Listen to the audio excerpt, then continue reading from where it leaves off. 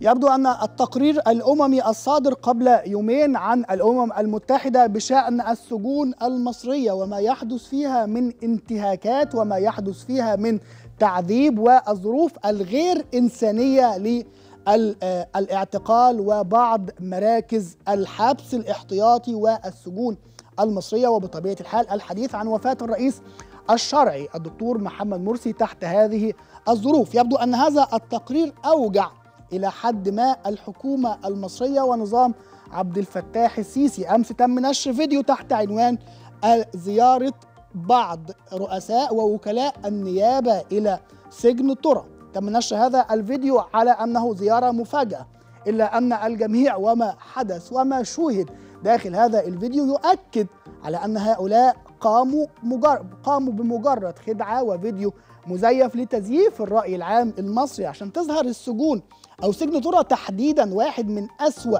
السجون المصرية وواحد من أسوأ آه ظروف الاحتجاز داخل مصر. يظهر بهذه الطريقة وكأنه فندق وكأنه آه يعني متنزه وجناين وحدائق وأكل وشرب وكلام طيب جدا ما يحصلش ابدا في مصر. كل اللي دخل السجون أو تابع على الأقل اللي خرجوا من السجون أو الناس اللي بتحكي عن ما يحدث داخل السجون هيضحك كتير لما يشوف التقرير ده. التقرير تم نشره تقريبا على معظم القنوات المصرية واحتفال كبير واحتفاء من إعلام النظام المصري بهذا التقرير. قالوا أيضا أن بعض القنوات وبعض الصحف وبعض وسائل الإعلام زارت هذا السجن. طبعا أكيد الصحف والقنوات دي التابعة لعبد الفتاح السيسي وأكيد كمان صوروا الحاجة اللي هم عايزينها. مش هتلاقي مثلا أي قناة معارضة مش هتلاقي حتى آآ آآ يعني شبكة عالمية زي رويترز أو الناس اللي بتتكلم وبتنقل الصورة.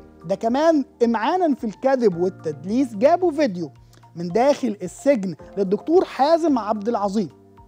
حازم عبد العظيم والمعتقل تقريبا بقاله أكتر من 18 شهر من مايو 2018 حتى الآن دون تهمة وبسجن احتياطي عشان يتكلم حازم عبد العظيم. محدش عارف كم الضغوطات اللي تعرض لها دكتور حازم أو كم ال ال ال يعني الضغط النفسي والجسدي عشان يطلع يقول الكلمتين دول عشان يظهر قدام الناس إن السجون في مصر وكأنها متنزه. نتابع ماذا قيل وماذا تم عرضه على الإعلام المصري خلال الساعات اللي فاتت عن زيارة السجون. نتابع. بالنسبة للتعيين. الأكل مثلا بصراحه فوق فوق ما أنا متخيل. أنا مش أنا مش بجامل بس يعني مثلا بيجي لنا لحم مرتين في الأسبوع بيض مرتين في الأسبوع فاكهة كتير كويس آه جبن وخضار. يعني حتى أنا بقعد اهزر يا جماعة بقول لهم بتصرف حاجة كويس في الأكل. الأكل فوق ما تتخيل وأنا مش بجامل لحمة مرتين في الأسبوع وخضار وفاكهة والدنيا وردي والحياة بامبي والدنيا زي الفل ويا تعالوا يا مصريين قضوا ال weekend في السجن على حد تعبير أو الكلام اللي عايز يقوله الفيديو اللي تم عرضه أمس كمان.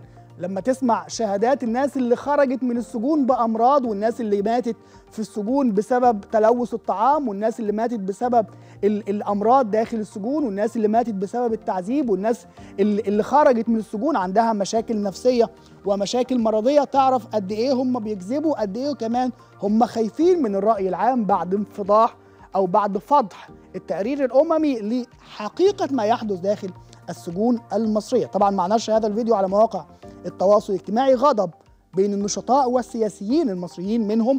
دكتور طارق الزمر بيقول أتحدى السيسي وكل أجهزته واذرعه أن تكون زيارة المراسلين الأجانب المزمعة لسجون طرى مفتوحة وبلا قيود وأن تشمل سجن العقرب وملحق المزرعة طالما قيدوها ابتداء بمنطقة طرى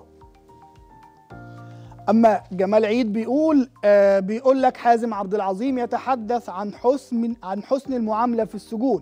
حازم عبد العظيم محبوس احتياطي من مايو 2018 دون إفراج ودون محاكمة. ربنا يفك سجنه. الفنان عمرو واكد بيقول خطأ كبير من النظام أن ينشر فيديو لحازم عبد العظيم كما لو كان دليل لحسن المعاملة المزعومة في السجون المصرية. كما يوضح الحقوقي جمال عيد حازم عبد العظيم دليل على انتهاك الحقوق في مصر. واحد محبوس بقاله سنة ونص ولم يحاكم بعد. عمرو واكد بيقول مين اللي شار عليكم الشورى العبقرية دي؟ وحصان الثورة الرابح.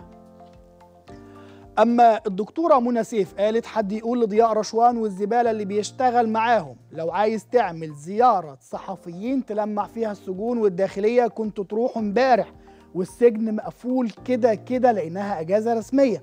مش تروحوا النهارده وتحرموا المساجين وأهلهم من زياراتهم يا عديم الإحساس والرباية. أيضا آه، أسامة رشدي بيقول نتمنى أن يسمح أن يسمح للصحفيين بزيارة حقيقية عشان يقابلوا القيادات الممنوعة من الزيارة منذ ثلاث أعوام. أما الزيارات المرتبة والتي يجرى فيها نقل سجناء وإخفاء آخرين فلن ينطلي على أحد السجون الوحشية سيئة السمعة في مصر ولن تحل ولن تحل مشاكلها بالممارسات المسرحية من قبيل المراجعة الشاملة. اذا هذه هذا التقرير واللي تم نشره عن ال- وزاره الداخلية المصرية وتحديدا زيارة بعض من أعضاء النيابة العامة والنيابة أمن الدولة العليا لسجن ترى للتدليل على الظروف الصحية والظروف ال- آه، الس- ال- الحسنة وكذلك آه، ظروف الحبس الحقوقية زي ما قالوا في سجن ترى لن تنطلي هذه الخدع على الكثير من المصريين. أيضا لن تنطلي على المجتمع الدولي اللي قدامه العشرات من حالات الانتهاكات بل الآلاف من الشخصيات اللي ماتت واللي تعرضت لانتهاك داخل السجون المصرية. أخيرا هذا الفيديو واللي تم نشره خلال الساعات اللي فاتت على مواقع التواصل الاجتماعي لهذا الشاب اللي وقف الدكتور أحمد اللي وقف أحمد محيي اللي وقف في ميدان التحرير ورفع يافطة مكتوب عليها ارحل يا سيسي هنخليه يرد على الفيديو ده وعلى تقرير وزارة الداخلية المصرية. نتابع. أنا اتسجنت انفرادي خمس شهور ومفيش أصعب في العالم من كده. أنا كنت بروح ال- المحكمة لوحدي وبروح الزنزانة لوحدي. أنا كان بيتقال لي في الزنزانة أنت السيسي موصي شخصيا على زنزانتك. أنا كان بيتقال لي كل الكلام الصعب اللي في الدنيا.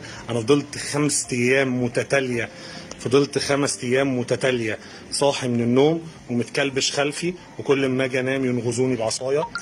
لا أنا ما كانش بتعامل كويس أوكي أنا ما كانش بتضرب بس اتعرضت لأنواع من التعذيب النفسي لا نهائيه